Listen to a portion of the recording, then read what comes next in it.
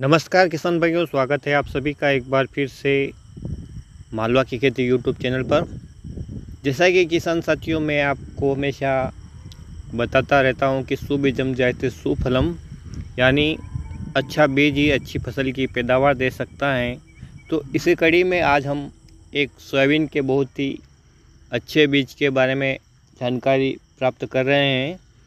यूँ तो इस बीज के बारे में आपने सुना भी होगा, कुछ किसान भाइयों ने इसे लगाया भी होगा, कुछ किसान भाइयों ने इसे अन्य किसान भाइयों के खेतों में देखा होगा, कुछ किसान भाइयों ने इसे सोशल मीडिया के माध्यम से, वीडियो से भी देखा होगा। जी किसान भाइयों, बात करें आज सोयाबीन की, जीएस वैरायटी के बीस उनसत्तर बीज की, जिसे कि जवाहरलाल नेहरू कृषि विश्वविद्यालय जबलपुर ने बनाया है, और ये किस्म सोयाबीन की किसानों के लिए एक चमत्कारी किस्म साबित हुए किसान साथियों, क्योंकि इसमें कुछ ऐसे गुण हैं जो शायद ही आपको अन्य किस्मों में देखने को मिले।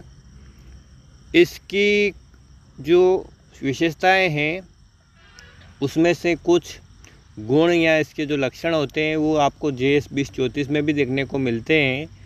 और बहुत सारे किसान भाई इसको बीस चौंतीस बड़ी वाली भी बोलते हैं, क्योंकि जे एस बी चौंतीस की पौधों की हाइट छोटी रहती है, इसके फूल और फलियाँ भी जे एस बीस चौंतीस की तरह ही होते हैं, यानी फूल सफ़ेद होते हैं, फलियाँ भी भूरे रंग की होती हैं। लेकिन जे एस बीस चौंतीस में और जे एस बीस उनसत्तर में सिर्फ़ इतना फ़र्क है कि जे एस बीस चौंतीस जल्दी आने वाली वैरायटी है, वहीं बीस उनसत्तर है। ये थोड़ी मध्यम अवस्था में जे एस बीस चौंतीस से पाँच से दस दिन के बाद आने वाली वैरायटी हैं और इसके पौधों की हाइट कुछ अधिक होती है। तो किसान साथियों, आज हम केवल जे एस बीस उनसत्तर के बारे में बात कर रहे हैं। तो जे एस बीस उनसत्तर जो वेराइटी है किसान साथियों, ये अनेक कीटों और अनेक सोयाबीन में लगने वाले रोगों के लिए प्रतिरोधक क्षमता रखती हैं। साथ ही साथ ये जलवायु के अनुकूल भी अपने आप को ढालने की कोशिश करती हैं, यानी विपरीत मौसम में भी या विपरीत परिस्थितियों में भी ये अच्छा खासा उत्पादन देती हैं। बात करें इसके पकने की अवधि की तो किसान साथियों यह चौराणु दिन में लगभग पक जाती हैं, लेकिन यदि बरसात में यदि कमी आती है पकने के समय या बरसात ज़्यादा देर तक जारी रहती हैं तो इसके पकने की अवधि में दो से चार दिन का अंतर हो सकता है।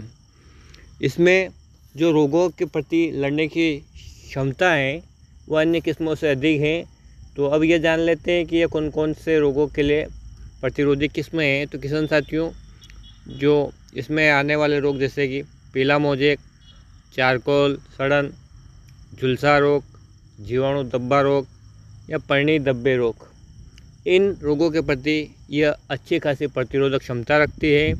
वहीं यह कुछ कीटों के प्रति भी प्रतिरोधक क्षमता रखती हैं, जिसमें आ गया है तना मक्खी जिसे स्टेम फ्लाई बोलते हैं, चक्रभंग, जैसे गर्डल बिटल भी बोलते हैं, एवं पत्ती भक्ष्य को, जैसे सेमिलिपर वगैरह इलिया जो होती है, उनके लिए भी ये अच्छी खासी प्रतिरोधक क्षमता रखती हैं।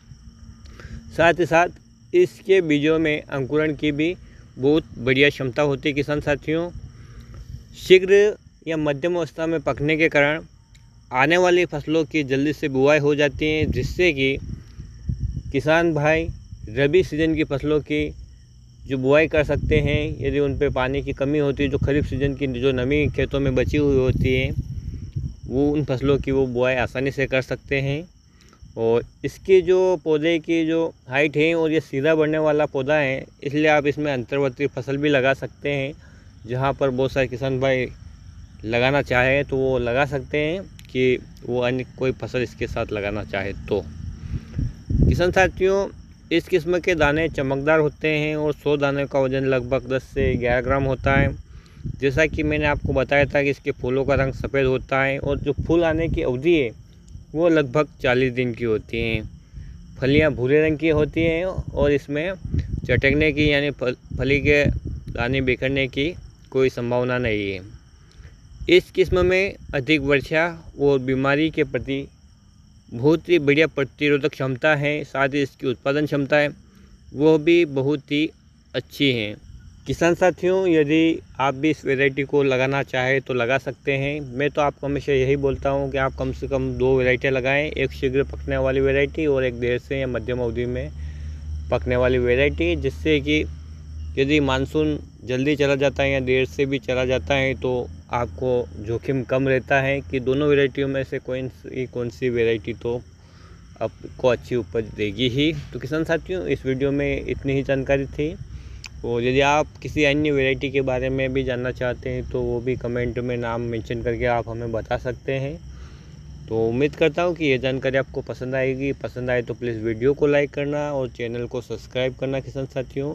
यदि आपको ये जानकारी पसंद आती है तो आप अन्य दोस्तों के साथ शेयर भी कर सकते हैं, ताकि उन्हें भी इस प्रकार की जानकारी मिले और वो भी लाभ प्राप्त कर सकते हैं। तो वीडियो देखने के लिए धन्यवाद। फिर मिलते हैं एक नए वीडियो में। जय हिंद, जय जवान, जय किसान।